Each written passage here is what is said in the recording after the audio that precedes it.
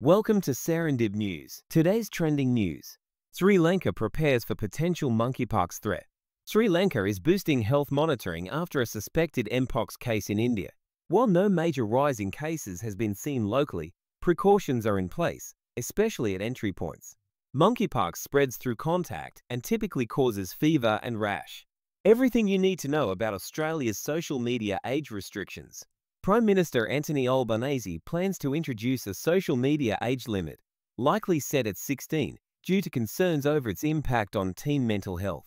The government will consult experts and states before finalising, with some states proposing a 14-year limit.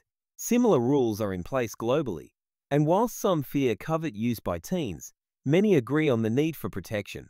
Ganpati Festival Decoration featuring Kolkata Doctor theme gains attention.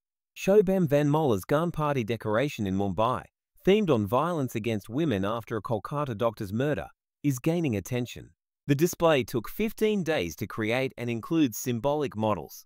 Visitors appreciate the thoughtful theme as the festival runs from September 7 to 17.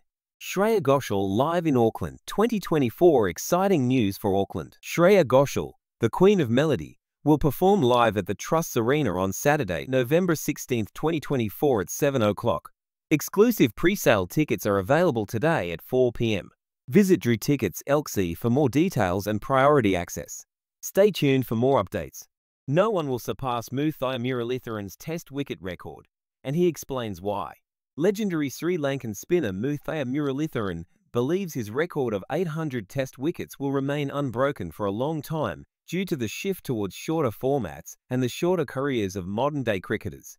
He expressed concern about the future of Test cricket, citing decreasing viewership and fewer Test matches being played.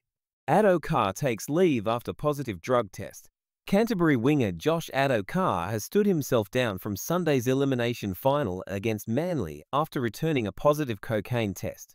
Despite his innocence claim, the results of a second test could take up to two months. The club is awaiting the results to determine further action. Are you looking to grow your business? Promotions start from $9.95 per day. Call us on 0488755498 for more information.